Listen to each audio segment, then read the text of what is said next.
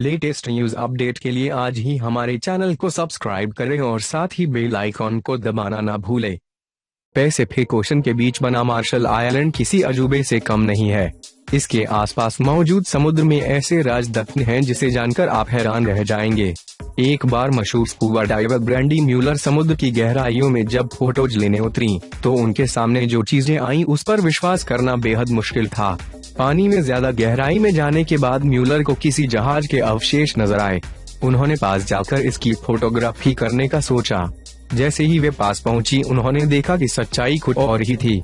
असल में ये एक बड़े लड़ाकू विमान के अवशेष थे।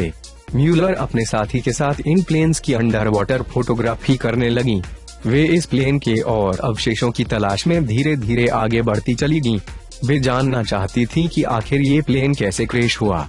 वे जैसे जैसे आगे बढ़ती ही उनके सामने एक के बाद एक एयरप्लेन्स नज़र आने लगे।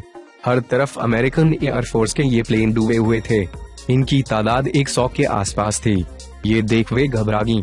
उन्हें यकीन नहीं हुआ कि आखिर एक ही जगह पर इतने सारे प्लेन कैसे डूब गए।